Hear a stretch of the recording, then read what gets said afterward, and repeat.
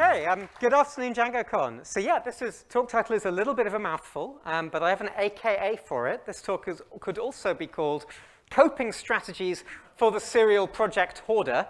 And um, I have quite a good illustration of this. This is sort of my attitude when faced with an opportunity of a new project.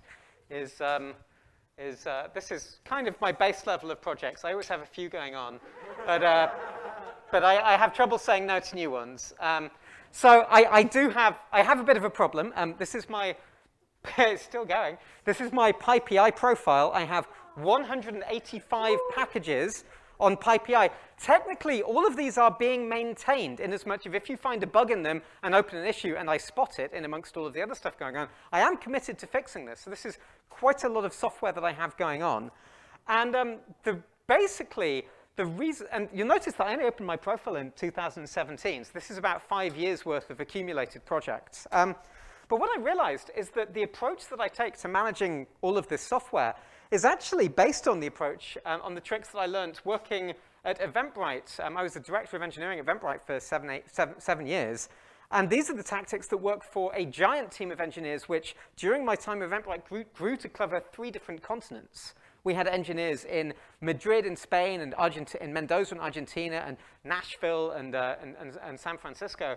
And it turns out that when you have engineers spread across this kind of distance, like look at the time zones, right? The engineers in San Francisco and the ones in Madrid are not even going to be awake at the same time of day. So you end up needing to have some, you have to evolve towards processes that work. And the thing that works is really good, a really good culture of unit testing and a really good culture of internal documentation. And the projects at Eventbrite that, did that, that worked out the best were the ones that were doing that. And so I've been scaling this stuff down, saying, okay, these techniques that work with 100 engineers across like three continents, what happens if it's just you working on projects and you adapt the same things? Intuitively, you would expect this to be a disaster and to make you a lot slower.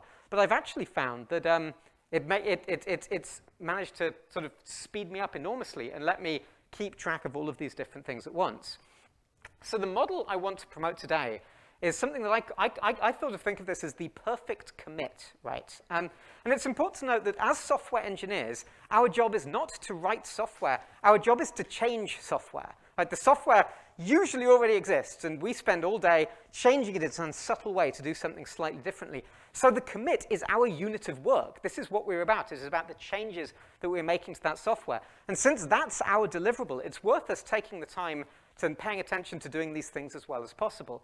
So in my model, the perfect commit consists of four things. There's the implementation, the code that you've written. There are the tests that prove that the code works. There is the updated documentation that helps explain that code to other people. And crucially, there's a link to an issue thread as well, which you can do all sorts of other stuff in, which I'll talk about in a moment. So here's an example. I found just a recent commit I made to my Datasette project. And here we go. It's, it's illustrating this idea, right? There's changes to the implementation. There's um, some documentation updates, two places that were affected. And there's a bunch of unit test stuff that, that demonstrates that works. And then in the commit message, I say closes issue, whatever that number is, and tie it, link it to, a, to, to an issue that's going on.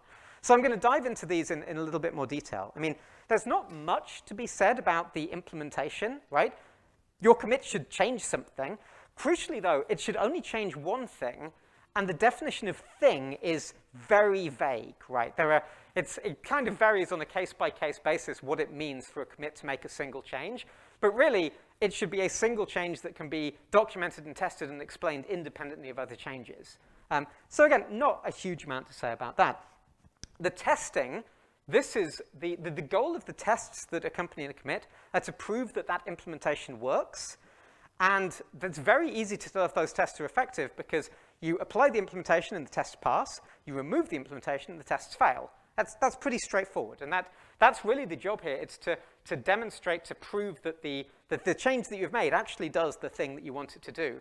What's interesting about this, though, is um, if you tell people they need to write tests for everything, most, quite a lot of the time, people like, that is too big a burden, right? That is, that is a, a lot of additional work that you're requesting from me. But I find that if you start a project with a test, adding incremental tests is actually pretty, pretty lightweight, right? The, the hard bit in testing is getting that testing framework up and running, getting your sort of your, your fixtures, your objects under test in place and all of that. That's a fair amount of work, but once it's there, adding new tests becomes really easy.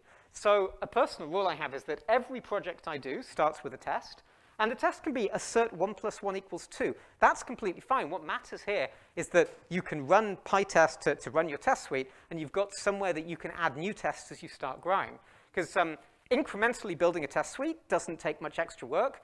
Anyone who's ever tried to add tests to a project that's already been around for 12 months will know that adding tests to an existing thing is, is, is a much, much heavier lift. Um, so what I've been doing there is um, I have uh, I have cookie cutter repository, um, cookie cutter templates for the three types of project that I write. Most of my work is either a Python library or it's a command line utility built using the Click um, uh, command line framework. So it's a Click application or it's a plugin for my Datasette project. Um, and so I've got three cookie cutter templates, um, one for each of those, which anyone's welcome to, to, to use for their own things. And I'd say probably 90% of the projects I do start with one of these templates. And every now and then a new better way comes out of doing things, so I upgrade the template next time I use it. Um, but I've got another trick on top of that, which is quite fun, where I figured out how to use GitHub Actions and GitHub repository templates to execute these things. So um, it's possible to set up a, it's possible to have a template, a, a repository on GitHub where you can say, use this as a template, and it gives you a form. And then I've set it up so if you type in the name of a Python package and a one-line description, when you cl click that button at the bottom, it will create that template, then it will run cookie cutter to create the README and the license and set up the directory structure and do all of those bits and pieces. And so about 15 seconds later, you've got a starting point for a Py new Python library or a Click application.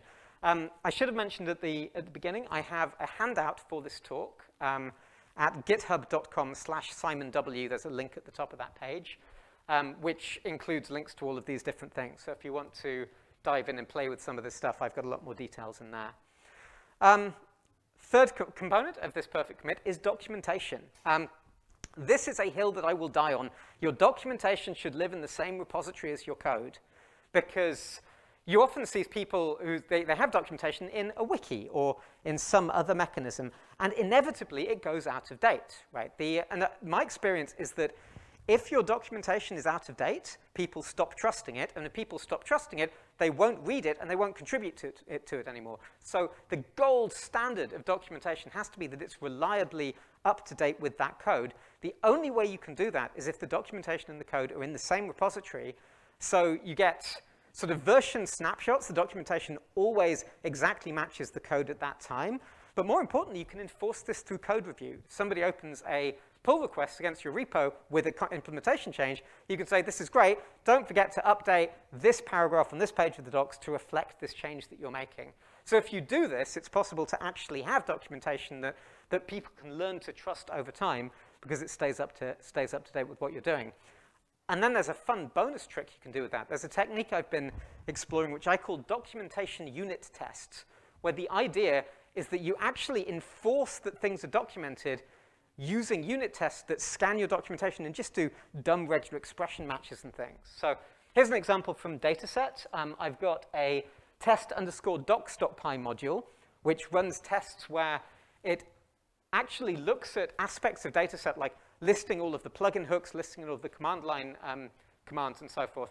For each one of those, it scans the documentation and looks for a header that matches that. So I cannot add a new plugin hook to Datasette without also documenting it, without at least putting in a header that says documentation coming soon, which is cheating, but at least I know that I'm cheating, um, because the test will fail. So I've tried this on a whole bunch of different things, and it just works really, really effectively. Um, this is the entire implementation of that test, right? It's a PyTest test which um, runs using parameterized against all of the, the pm.hook plugin hooks and extracts the headings from the documentation using a regular expression constructs a little um, thing that says the plugin name and then the arguments and checks that it's there. And if it's not, it raises an error. It's really simple, like a dozen lines of code. But as a result, I, I'm, I, I force that, um, uh, that responsibility on myself of making sure that I'm not adding things and then leaving the documentation until later.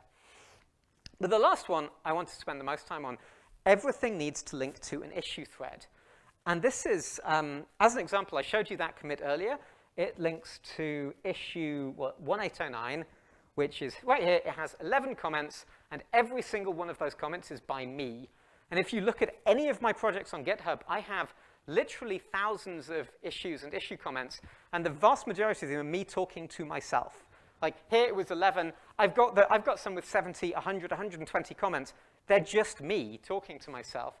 Because it turns out this is an absolutely fantastic form of sort of documentation to accompany a project. Um, and so what kind of stuff do you put in these? What can go into an issue? Well, the obvious one is the, the background, right? Every change has a reason. There's a reason you're doing that piece of work. You should write that down, and it only needs to be a few sentences, but you write that down, and, um, and uh, now you've got that. Now, in six months' time, when you're trying to remember why you did this crazy thing, you can go back and look at that. Um, there's the state of play beforehand. I love opening an issue and saying, I'm going to make this change, and I'm going to make it to this file here, and then drop in a link to, to, that, to that file of code on GitHub.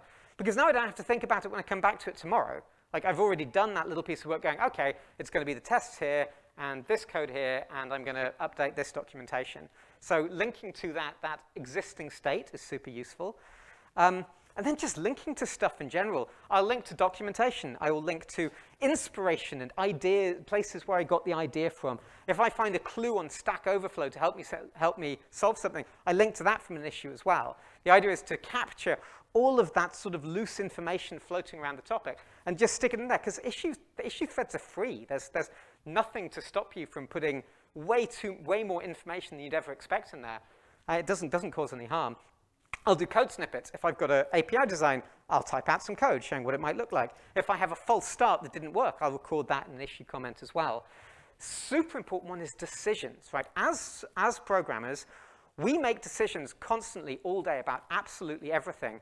And it's very easy to get to the end of a day and you push your commit and it's like a dozen lines of changed code and all of that other work you did is invisible, right? It doesn't have to be invisible. Every time you make a decision, pop in an issue comment saying, so I was trying to decide between this approach or this approach, and because of this reason I went for that one. Because I can guarantee that in a few months' time you will have forgotten why you made that decision, and then you risk having to make it again. Think, oh, maybe I should, maybe like, re rethinking, like redebating debates that you've already had with yourself, write them down and you won't need to do that. Um, screenshots, screenshots of everything, right? Screenshots, again, they're free. I've got an app that takes a screenshot of a box on the, on, on the screen. I can drag it into an issue, and there it is. I use these anytime I have to interact with the AWS console. I take a screenshot of it, because who can remember that kind of thing?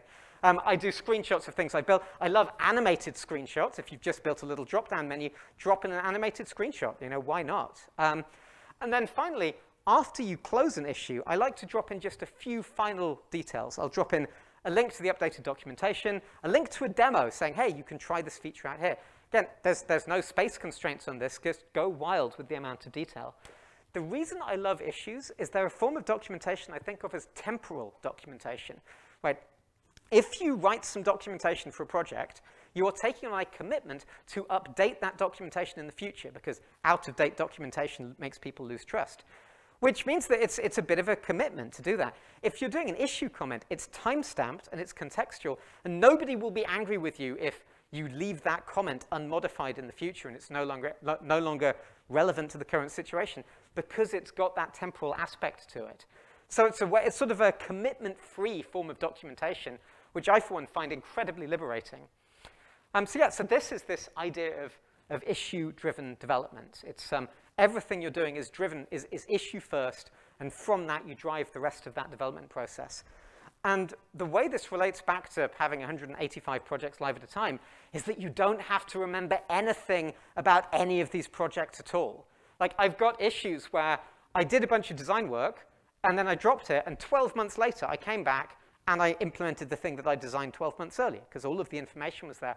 I didn't have to relitigate it and, and figure it out again. I have projects where I forget that the project exists, and then I come back and I'm like, wow, well, this is something I hadn't realized I'd built, but there's an issue that I can, was half done with, so I can pick it up and, and go on. So really, it's a way of working where you treat it like every project is going to be maintained by somebody else, And that's somebody else. It's, it's the classic, it's you in a year's time.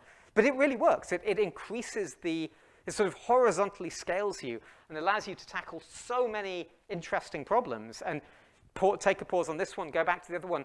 Programmers always complain when you interrupt them, right? All, there's this whole thing about um, flow state and how if you interrupt a programmer to ask them a question, it'll take them 25 minutes to get back into it. This fixes that, right? It's much easier to get back to what you were doing if you've written notes on the decision you were just making. You've got this issue thread, take time out, deal with, fight a fire somewhere else, come back to it, sit down, and, and pick up again. So this right here, this is the productivity hack. This is the thing that I think allows you to take on much more ambitious projects in, in much larger quantities, is having the, this issue-driven development me methodology. Another way to think about it is to compare it to laboratory notebooks. Right? This is a picture of one of Leonardo, Leonardo da Vinci's famous notebooks that I found on Wikipedia. But great scientists, great um, engineers have always kept notes. They've always kept notebooks on what they're doing. That's effectively what we're doing, what we can do with GitHub issues. It's a really cheap, really productive way to keep these very rich, very sort of potentially very visual notes about what we were doing in all sorts of different, um, di different, different, different project projects and categories. If you were wondering if I have private GitHub issue repos for my personal life and household chores and all of that, I do, and that works too. This is like a universal to-do list for me at this point. Um, I'll show you, I think another thing that I like to use these for is, is deep research tasks. So this was, what, a month ago, I was trying to figure out how to run my Python application in an AWS Lambda function, which is so hard. Oh my goodness, it's so difficult. Seriously, why does this have to be like this? But I opened myself a research thread, and I think that's got 65 comments, which is me talking to myself over the course of a few days. And at the end of this 65 comment long thread, I'd figured it out. I'd managed to do it. And I've actually got, um, this is now in a public repository, I've got a parallel one of these where I figured out how to assign a custom domain to my AWS function, which took 75 comments and five hours. But I never have to figure this out ever again. This is a solved problem for me now. Next time I want to do this, I actually wrote one of these up as a, as a Today I Learned article, but this, I never have to think about this ever again, which, as somebody who's almost allergic to figuring out AWS details, this is great. This, this works really well for me. I tried to animate the entire thread, but um, Keynote has a 10,000 pixel limit on how far you can animate, so it only got halfway through. Um, but yeah, if you want to take a look at these, uh, github.com slash simonw slash public hyphen notes has an issue tracker where I just transfer some of these things that I wanted to make visible to people. So then the last step, and the last thing I wanted to encourage, I want to encourage you to do is if you do a project, you have to tell people what it was that you did. It is so easy and so tempting to skip this step. And I'm talking about both for sort of personal projects and for work projects as well, right? It's so common to sweat, like there's blood and sweat and tears getting something done. And once you've finally landed that change, you know, the, the idea of then spending another half hour to an hour writing about it is it's kind of like who wants to do the extra work. But you are missing out on so much of the value in your work if you don't give other people a chance to understand what it was that you did. So I've started, so I mean, if you're doing a project for other people, um, release notes are super important. Uh, I like using GitHub releases for these because it's super cheap and easy and fast. And um, I've actually got, it, got, got automation set up. So anytime I ship a GitHub release, it automatically pushes a new version of my packages to PyPI. I've done over a thousand releases to PyPI, so having those automated is, is crucial. And it's one of those things, once you've set up the automation, it becomes very, very easy to ship these incremental changes. If you're going to do release notes, please put dates on them. Um, so many projects don't do this. I need to know when the change went out, because if a change went out last week, I can be pretty sure that nobody's upgraded to that version yet. If the change is from five years ago, that's a feature I know that people are going to have. Um, but then the, the mental trick that I think works really well is you have to expand your personal definition of done to include writing about what you did. Like if you can, if you've, if, if you say, no project of mine is finished until I've at least told people about it in some way, that just, it, it, it, it, it, it's, it's a habit that really helps with, with, with getting that additional value out of your projects. The cheapest way to do this is a Twitter thread, right? Tweet about the thing that you did with a link, then follow up with a couple more tweets with some screenshots, do a video, why not, right? Just, just get a little, little unit out there into the world that explains that project. And that's it. And then you can stop thinking about it. Um, even better, get a blog. Nobody blogs anymore. This is, so when, I, have been blogging, it turns out, for 20 years. And back when we stuck, back in the olden days, blogs were like SEO. The, the most effective SEO thing you could do was to have a blog because everyone linked to everyone else's blogs and all of that kind of stuff. And that effect sort of faded over time. The last year I've noticed it works again. If you have a blog and you write about things, you can end up at the top of Google search results for all sorts of stuff because nobody else is blogging. So do this. Get a blog. Get a blog. Write about your projects. Post screenshots. It's totally worth that additional investment. And really, one way I think about this is that the enemy of projects, especially personal projects, is guilt. Like, if you've built, I'm, I'm sure many people here have experienced this, you have some personal projects, and then you're just eaten up with guilt that you're not working on them anymore. Anytime you do something new, you're like, I shouldn't be doing this because that other project hasn't yet achieved its goals. Like, what am I doing splitting myself up like this? You have to overcome guilt if you're going to do 185 projects at once. Um, most important tip, avoid side projects with user accounts. If you build something that people can sign into, that's not a side project, that is an unpaid job. That is a very big responsibility avoid at all costs. All of my projects right now are open source things that people run on their own machines because then that's about as far away from user accounts as I can get. I still have a responsibility for security updates and things like that, but at least I'm not holding onto other people's data for them. Um, but really, I feel like if your project is tested and documented, you have nothing to feel guilty about, right? You have put a thing out into the world, and it has tests that show that it works, and it has documentation that explains what it is, and I can sort of step back and think, okay, it's okay for me to work on other things. That thing there is a, is a, it's a unit. It is a unit that makes sense to people. And that's what I tell myself anyway, right? It's, um, it's okay to have 185 projects if they have documentation and if they have tests. So do that, and the guilt just disappears, and you can live guilt-free. Um, so yeah, thank you very much for listening to my rant about perfect commits and, and, and how, to, how to do 185 projects at once. And I think I might have time for some questions.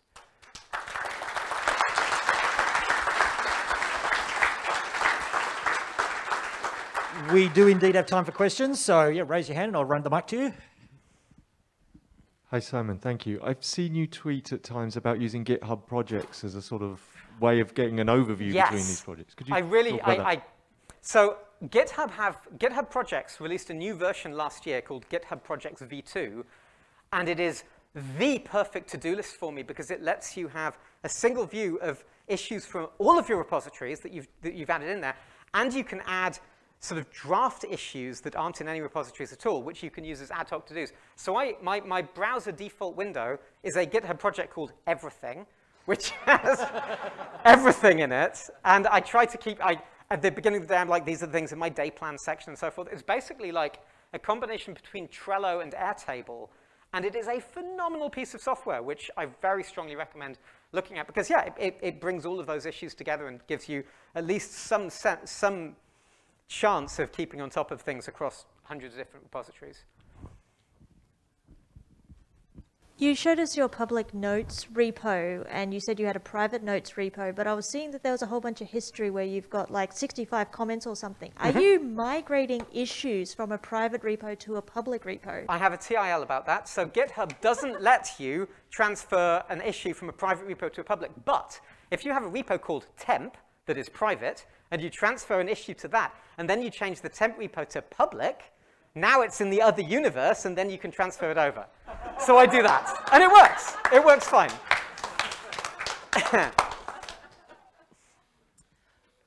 All right. Any more questions out there? If there is, I, I can slip one in there. Right at the very beginning, you said that no, perfect commit is a test that fails and then a commit that fixes the test. No, no, the, the, test you, you, you don't commit the failing test. Ah, okay. But I use like um, git stash to hide the implementation and then run it that way. So my commits are always green. Right, um, okay, so you're, you're, always committing a single unit. I was wondering if you had yeah. a workflow, particularly Although, for what I do user do, contributed. I didn't. I, I sometimes open do branches and open a, P, a pull request for my own stuff, and then I do a squash merge commit in the GitHub interface so that it ends up as a single unit onto the main branch, even though it was a bunch of commits and I was messing around in the, in the PR. Uh, okay, with that, I think we are at time. So again, thank you very much, Simon, for you. your fascinating talk.